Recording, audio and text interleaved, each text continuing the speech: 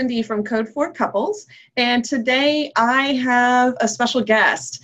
Um, I have Lisa Lerner, who has been ministering uh, to police, doing police ministry since 1990, and she is the co-founder with her husband of a organization called Bless the Badge. So, welcome very much, Lisa. Thank you for being here.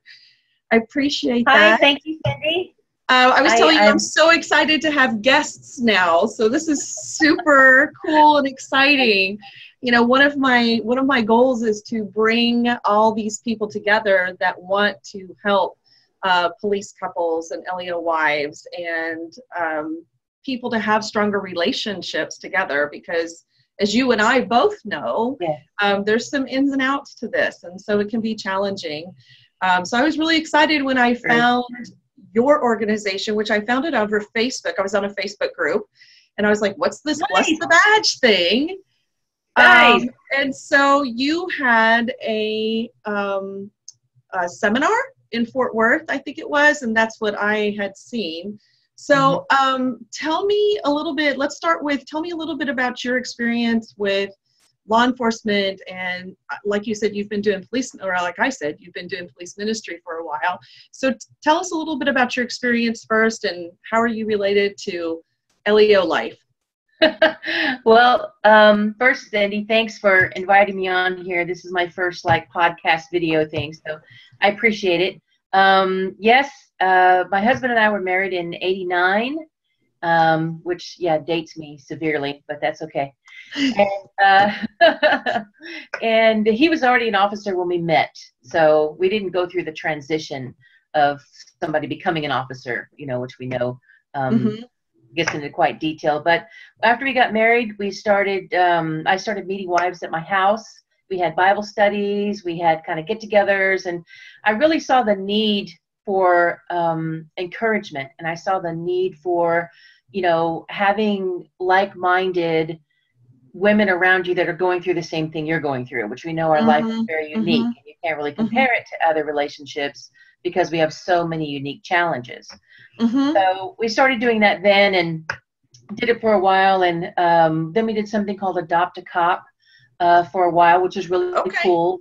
You know, we didn't start that. We had, you know, we became a part of it from somewhere else. I think it was started up north somewhere and we did that um, praying for officers and sending them birthday cards and you know stuff like that just to acknowledge them and encourage them and then in 2001 um, bless the badge was started and it was it became like okay let's kind of pull this together and really get serious about how we can make this work and how we can be more effective in what we feel we're called to do so it, started out with doing events and, um, you know, because we thought officers need a place where they can go um, in public, but they can relax as much as possible um, with their families.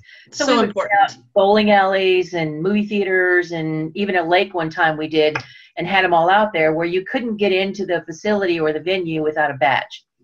So Nice. That way they could chill a little bit with their brothers and their families and, you know, not constantly be swiveling their head and running into somebody they deal with on the street. And, you know, we know how it is.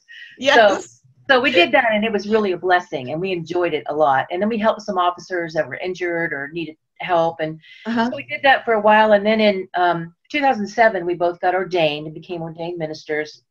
And in 2008, we joined InFaith Ministries, which has become our 501c3 and okay. they're American missionaries. They do missionaries to the United States, only the United States, and they've been around for 200 years. Wow. Yeah, I know, right? So yeah. we're like, okay, that's some longevity there. We can hook up with them. So, so we got with them to kind of help us get our ministry along because we weren't really quite ready to become a 501c3, but we needed the the structure and we needed the covering and we needed all the other things to go for. So it was a great partnership and still is. We're still with them.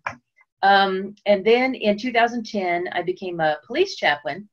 Oh, okay. I didn't know women could be police chaplains until 2010. oh, wow. So I was like, what? what?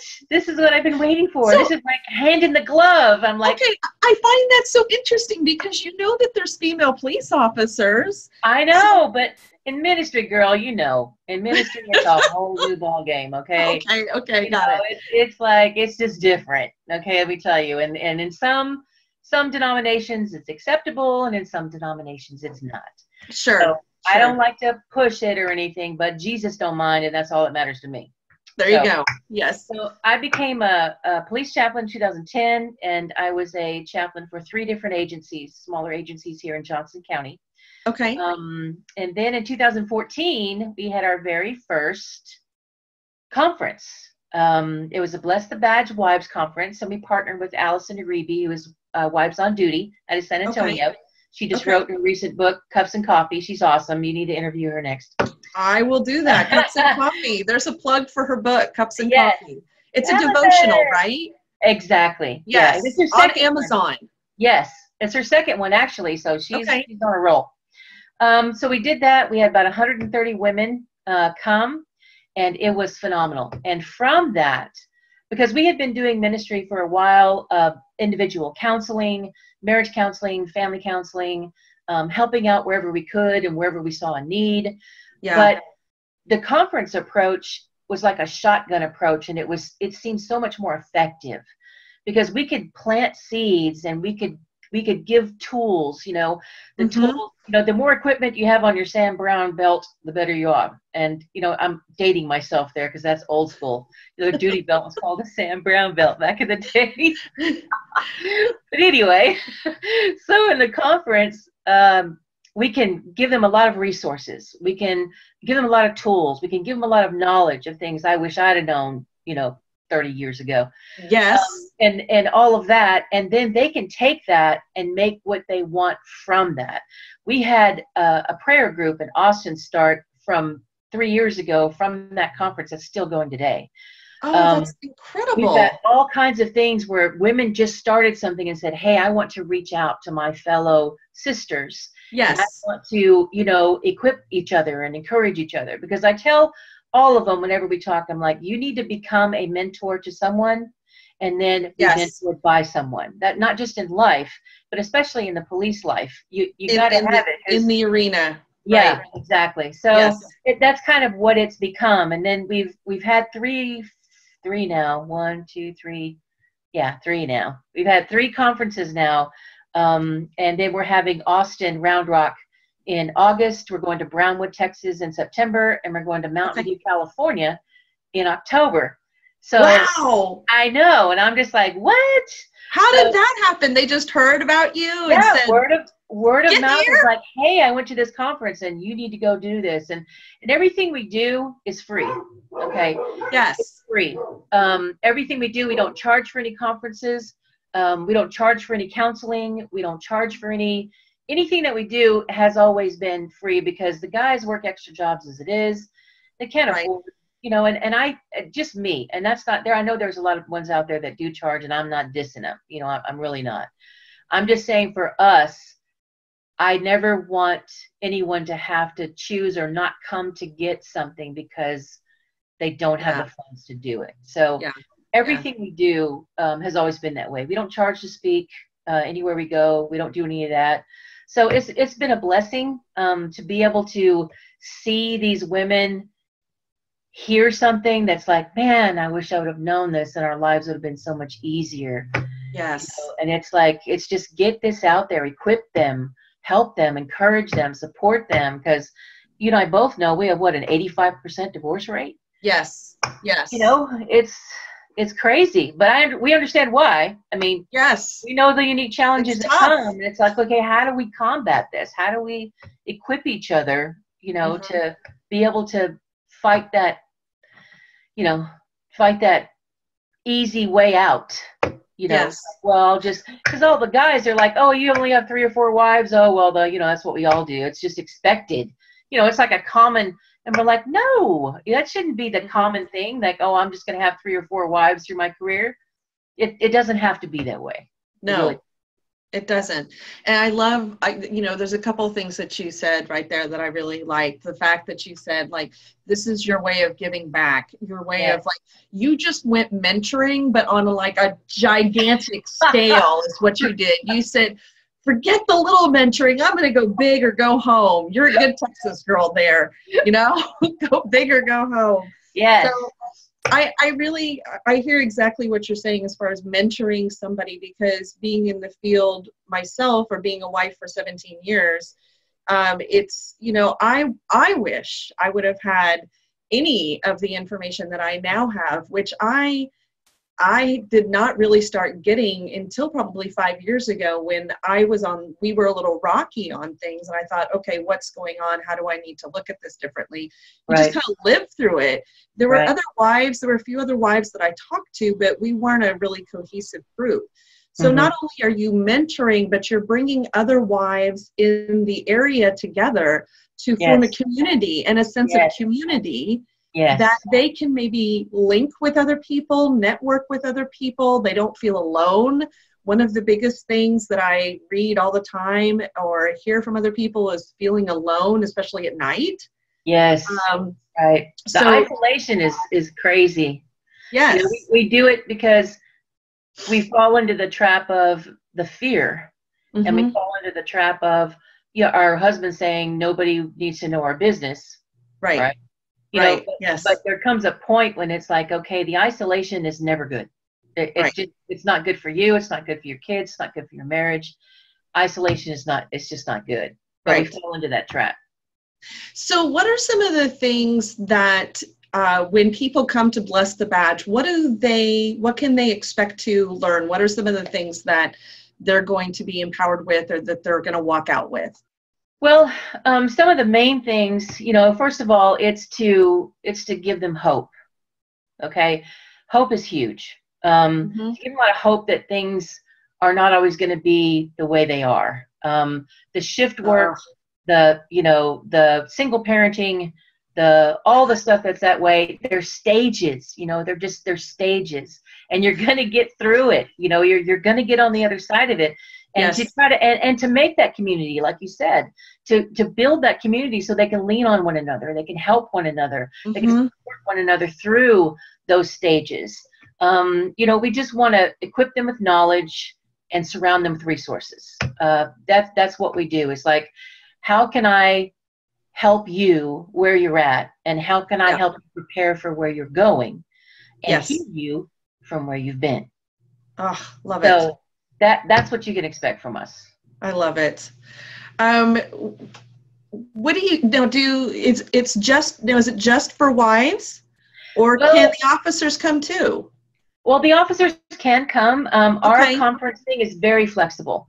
Okay. Um, if you want to bring a conference to your area, we can tailor it for what your vision is for your area. If you want to do couples, we can. We can okay. do retreats. Um, if not a couple of day retreat, we do usually our conference is like one day, six hours, and it's geared towards wives. But we can have a, a couple one. Um, my husband uh, retired. He spent 30 years on the street. So he did street patrol for the whole 30 years by choice. Wow. He just didn't want to promote because he loved being on the street. He felt that's where he was the most effective. Uh, mm-hmm. He loved it. And so that's where he stayed. And you know, it was it was a little harder on us because we stayed with the shift work, you know, and nowadays it's yes. 12 hours, which I am not a fan of, but that's another story. um, so, you know, uh, we went through all that for 30 years, but yes, he's, and, and the thing is with both of us, we have the tenure of saying he's been out there, he understands it, he knows it. He's worked with a lot of officers just individually. Um, mm. you know to talk through things. So that's that's the thing about it is we both together we have something for couples you know we've been married 28 years um you know and that's almost a, that's very rare in, yes. in life. Uh, yes. so we can say okay yeah there are times when it's gonna suck you know it's it's gonna be not fun um and but you can get on the other side of it. You can get through it you know and, and how do you do that? What does that look like you know what does it look like for you because it looks different for even though we're the same we're very different Yes. Um, so, you know, what does that look like for you? And how can you take the tools that we can give you and the knowledge and manipulate that for what works in your household, you know, with That's awesome. what you've got going on. Yeah. So you just said he was on the street for 30 years. Right. You've been married, what'd you say 28? 28. Yeah. 28 years. Yeah. What what has what has been your biggest challenge? Uh, that's a big question, but what what's one of your what was one of your challenges being a wife of an officer that was on the street that long? Well, you know, I've I've had that question before, and I can't really say there's one thing, but the challenge is there's different challenge in each stage. Um, like as a rookie, my challenge was fear. Um, mm. You know, the fear of the job, the fear of everything going on, the fear of life becoming completely different, and what you did and where you went, and you know the the whole thing. It's it's yes. an encompassing lifestyle. It's not just a job, as we know. Right. So, you know, it was the fear, and then a couple of years in, it became single parenting. It became how mm-hmm. do I work this shift because in El Paso, which is where he started, El Paso, Texas. Oh wow! They change shifts every thirty days. So it was days Holy cow. graveyards every 30 days and then i had a an infant and you know our daughter and it was like how do you you know it's just it's crazy but you you know you make it through it and you figure out how to make it work but that was a challenge for that stage and then about 10 15 years it was how do we keep our lives together instead of living separate lives? Because I started working full time and then he's working shift work, and you have the passing and sometimes not seeing each other for days at a time, right? So, right. how do we stay together and be intentional about our relationship when mm-hmm. it seems like we have such separate lives and it seems so much easier to just say, well, I'm going to do my thing and I'm going to let him do his thing? That will kill your marriage. Yes. I promise you, it will. Yes. So how do we become intentional about keeping that? So that was a challenge for that stage. And then now in retirement, it's like I don't know what to do with them 24 7. We've been each other longer now. In these last two years, and we have a 28, you know, awake. Um, so, so it's like, oh, like, you're here all the to time. go play with guns or something? Go yeah, the range. You're, you're, here all the time, all day, all night.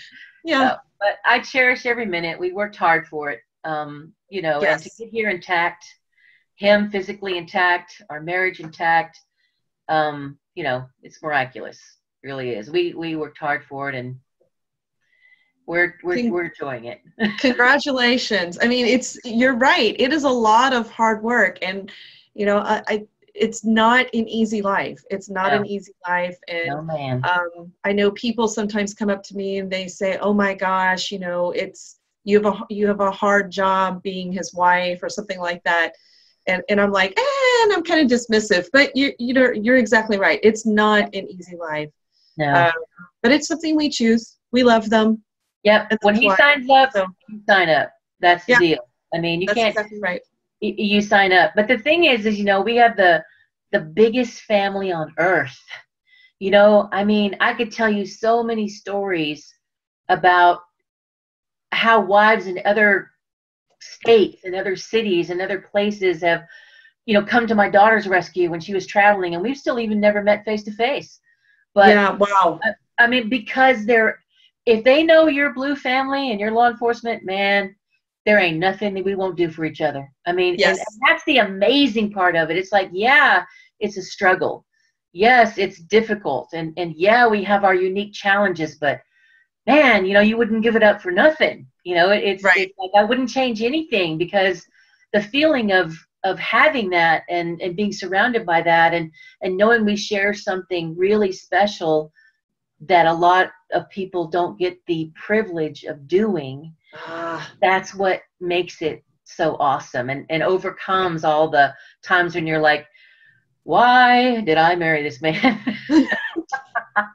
I love your passion. I love your passion for that. And I love the fact that, I mean, the, that's probably part of the reason why you're like, you know, I don't charge for this because this is this is about family. Yes. And I love that you incorporated yes. that right there to say it's about family. Yes. Um, and I that's it's so important because you're right. It's all like i mean to be cliche and use the lingo right? Like we all got each other six. Yeah, you know exactly. it's it's that kind of a thing. And once you learn that you're like okay we got it.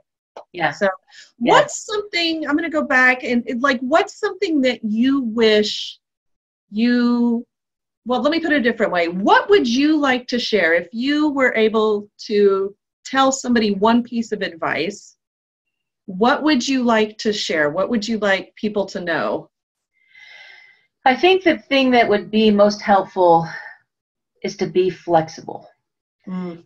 it's it's really hard when you've got structure and shift work and things like that and you're trying to make things work and and arrange things in life that goes. Cut each other some slack you know apply some grace be flexible and be ready to shift and change if necessary. You know because we all know the dinners that get cold and he can't show up for dinner and all the holidays and you know birthdays and anniversaries that shift work doesn't allow them to be at. Mm-hmm. we, we all know that. And we know they really want to be there. I mean they do. And and it's hard for us because we get angry and we get our feelings hurt and understandably but he can't help it. He cannot go to his chief and say, "Oh, no. gotta go, can't be here at work today." I mean, he just he can't change it, and and he wants to be there. He really wants to be there. So oh, I would say be flexible, and then learn about hypervigilance. Please learn about hypervigilance. That will change mm-hmm. your life. It will change how you understand him, how he understands himself, and it stops so much dissension because you understand the physiological change that goes through their body from doing the job they do. And that answers a lot of things of the wife always thinks it's her fault, you know, oh, he's not as happy when he's at home, or he's, you know, he's down, or he's, you know, he's, he doesn't seem as excited, and, you know, he doesn't want to make decisions, and, you know, all that kind of stuff. And once you understand that, then you're like, oh, okay, I get it now. I understand that he can't help it. I mean, it's, it is a physiological, which you understand and know, it's a physiological shift that happens to them when they've been up in hypervigilance for 12 hours or 8 hours or whatever it is, and every action has an equal and opposite reaction. So they're going to swing low and need to recover, you know, physically, emotionally, mentally, in every way, state, and form. Right. They got to recover, and then they can come back to normal after what is it 24 hours or something that it yes. shifts back something like that yeah i think it's 12 to 24 hours they can shift back to normal right. and be their normal um, but once we understand that we're like okay i can't hit him at the door when he gets home with everything that happened all day and what was work like and the kids are all there and he's just like i can't you know i don't mm-hmm. i don't i don't know because he can't give him 30 minutes you know or plan on a time and say okay take an hour or 30 minutes and chill and you know blindly work the remote in the magic chair or you know do whatever you need to do to gather yourself but then after that agreed amount of time you have to engage yeah. as dad and as husband so if i'd have known that oh man it would have saved so many fights and so many you know emotional roller coaster pity parties and and uh, oh my gosh all the stuff that you go through going what am i doing wrong? You know and it's it's not you. It's it's the job you know and learn to be flexible and just roll with it you know. It's it's not always going to be that way.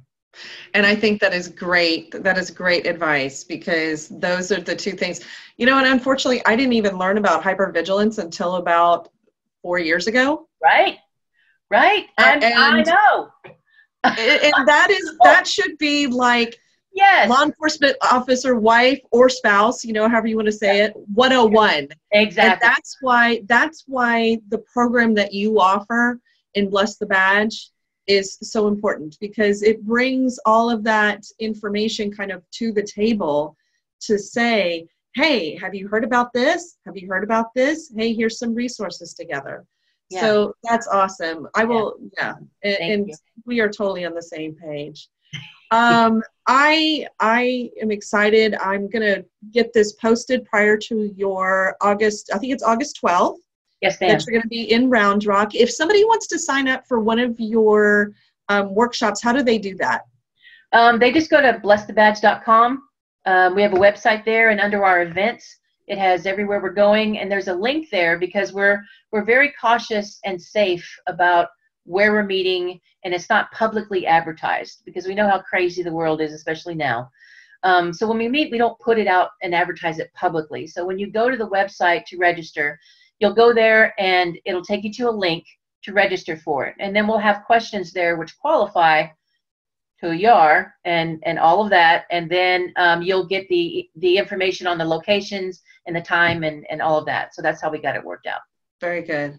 Well lisa thank you so much for being with us for being with me and bringing your information and for um, your ministry thank to you. uh, not just police officers but to all of our families and impacting so many people. I really appreciate it Thank you, um, and once again, you can get a hold of Lisa by going to blessthebadge.com mm-hmm. and check out any of our information or her workshops coming up.